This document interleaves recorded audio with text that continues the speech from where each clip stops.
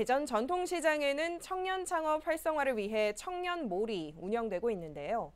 3년 전 청년들은 창업의 꿈을 안고 시작했지만 어려운 경제난에 폐업이 잇따르고 있습니다. 대전의 청년 창업 활성화를 위한 후속 대책이 시급해 보입니다. 임성준 기자의 보도입니다. 지난 2016년 개장한 유천시장 청춘 삼거리. 대전시의 청년 창업 지원 사업의 일환으로 청춘 삼거리에 10개의 청년 식당이 문을 열었습니다. 청년 점포가 들어서며 인적이 드문 전통시장에 젊은 활기를 불어넣어 줄 것으로 기대됐지만 3년이 지난 지금 시장거리에는 여전히 싸늘한 바람만 불고 있습니다. 전통시장 활성화와 청년 창업 지원까지 두 마리 토끼를 잡기 위해 시도된 청년몰입니다. 하지만 사람이 없는 횡한 거리에 점포들은 문을 닫은 채 방치돼 있습니다. 문을 닫은 가게 안에는 각종 고지서들이 잔뜩 널브러져 있고 손님들이 앉아 활기를 띄어야 할 테이블에는 먼지만 잔뜩 쌓여져 있습니다. 가게들이 그대로 거리에 방치돼 있다 보니 상권이 더욱 침체돼 보여 지역 상인들과 주민들은 한숨을 내쉴 수밖에 없습니다. 손님들은 더더 없어지고 우리 있는 상인들 몇 사람 가지고 그 손님들을 모시려고 하니까 너무 문 닫은 집이 많고 그래서 동네 골목 같아서 동네 수프만도 못하고 그래서 저희들이 많이 어려움을 겪고 있습니다. 빈 가게도 많고 저희가 여기 안 살면은 그냥 일부러 오지는 않을 것 같아요. 여기 살으니까 가게도 나와서 이렇게 채소도 사고 하는데 밤에는 너무 무서워요. 빈 가게가 많아서 컴컴하고.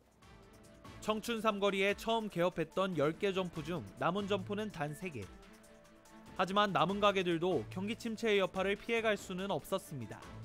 전통시장이라는 입지 조건이 많은 사람들을 끌어모을 수 없는 상황이다 보니 대부분 배달 업종으로 변경해 영업을 이어나가고 있었습니다.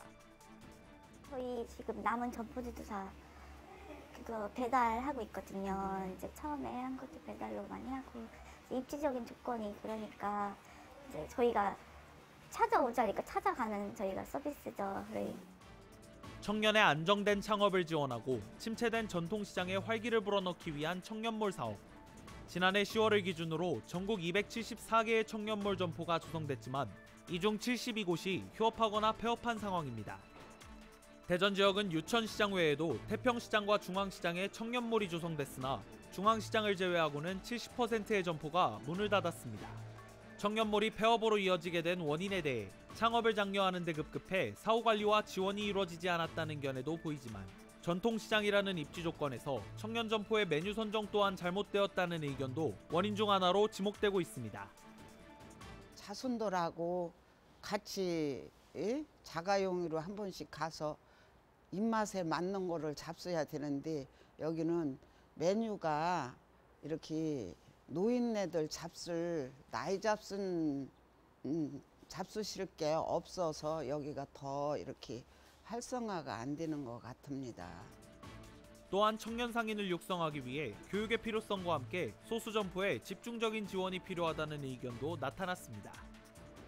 솔직히 창업 지원금도 많이 주시잖아요 정부에서 그러면 커 나가는 잘 되는 데에다 투자를 하셔야지 더 크지 안 되는 데다 계속 돈을 줘봤자 계속 나가거든요 왜냐면 보통 지금도 인테리어 돈만 받고 나간 사람이 지금 많잖아요 그리고 영업 한 3개월 하고 나가는 사람도 있어요 그럼 그런 사람들 하시는 거를 만약에 진짜 열심히 하는 사람한테 준다면 또 시너지 효과가 저는 날 것 같거든요 그래서 음, 이제 청년 창업 지원금 10명한테 주면은 10명이 창업을 하게 되니까 취업률이 올려, 전체적으로 취업률이 올라가는 거잖아요. 한 명한테 몰아주는 것보다는. 근데 이제 나머지 성장을 본다면 이제 조금 확실한 곳에다 투자를, 투자라기보다는 지원을 해주시는 게 저는 청년들이 사라진 청년몰. 꿈과 희망을 가지고 창업에 도전한 청년들의 안정된 점포 운영을 위한 후속 대책이 시급해 보입니다. CNB 뉴스 임성준입니다.